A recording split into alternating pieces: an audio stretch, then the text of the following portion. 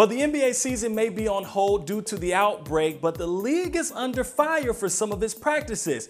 Here is the buzz. Questions grew after many players were tested for the virus, although they didn't show any symptoms, leaving many to wonder if favoritism was being shown to the uh, league while critically ill patients are still waiting to be tested. Now, New York's mayor scrutinized the Brooklyn Nets in a tweet after the team announced four players, including Kevin Durant, showed no symptoms but were tested. The league's commissioner says they followed the recommendations of public health officials.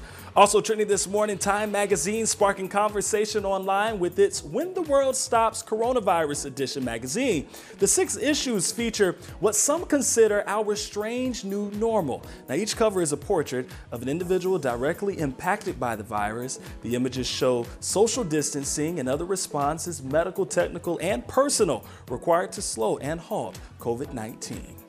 And if you can't stop Googling about the coronavirus, let me tell you, you are not alone. A new list shows the top searches while most are practicing social distancing. So, self isolation exercise was a big one. People also searching how to host a virtual happy hour and also quarantine birthday party ideas. Some even wanted to know how they can volunteer during the outbreak.